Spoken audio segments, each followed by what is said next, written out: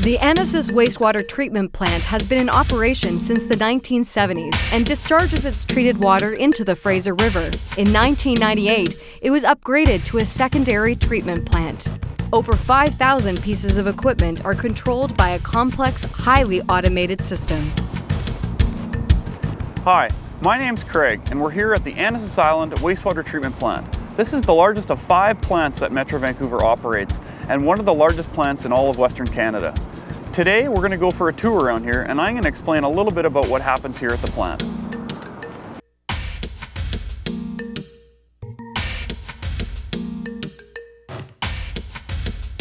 The first stage of treatment takes place in the influent pumping station, where solid debris is removed from the wastewater.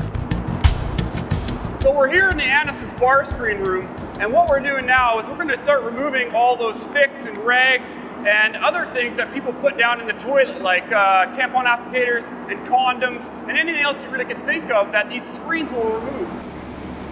What's happening here is this rake's going to go down and it's going to pull in through the screen all this debris, and it's going to pull it up as you can see. It's going to go, it gets scraped off into an auger. Later on, we're going to take all that debris, we're going to squeeze all the water out of it, and then it's going to be sent off to landfill. All that water is pumped up after it's been screened, and it's going to go into this PA tank behind us here.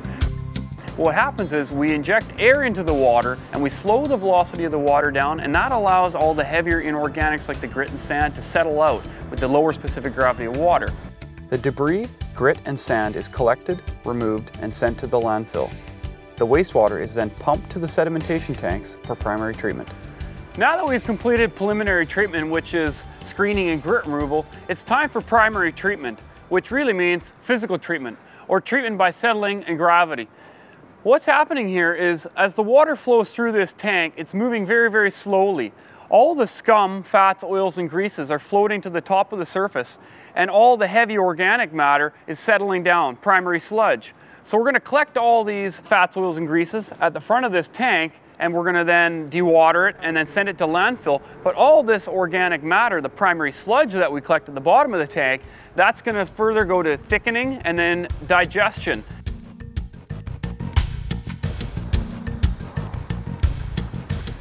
Now that we've finished primary treatment, it's time for secondary treatment, which is biological treatment, utilizing microorganisms to treat the wastewater.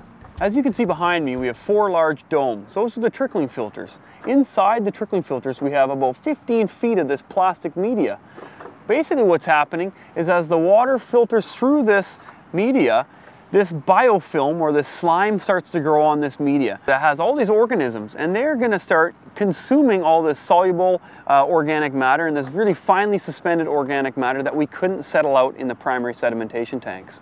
Later on, all that biomass will slough off of this media and it's going to go into the under drain system and it'll go on further downstream into the process.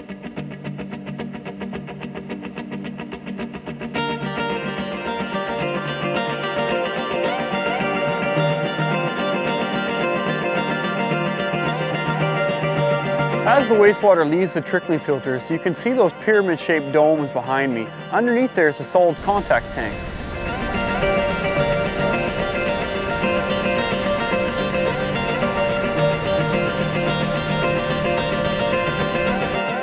As the wastewater goes into those tanks, any remaining soluble BOD will be converted into suspended solids, which we can then uh, settle out into secondary clarifiers further downstream. After the wastewater leaves the trickling filters and solid contact tanks, it comes here to the secondary clarifiers.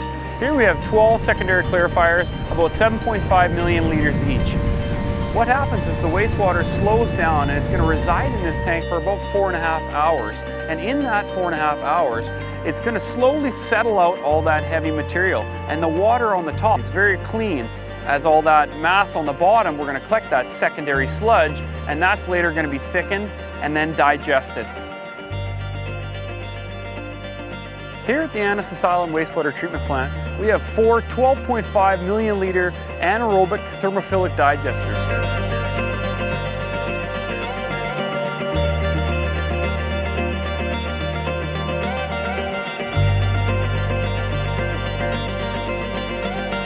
What's happening here is we're taking all the primary sludge from the primary treatment portion and then all the secondary sludge from the secondary treatment. We're mixing that in those tanks at 55 degrees Celsius for around 20 days. That sludge is broken down in a four-stage process. All that sludge, after it's been cooked for 20 days, is going to be sent to dewatering.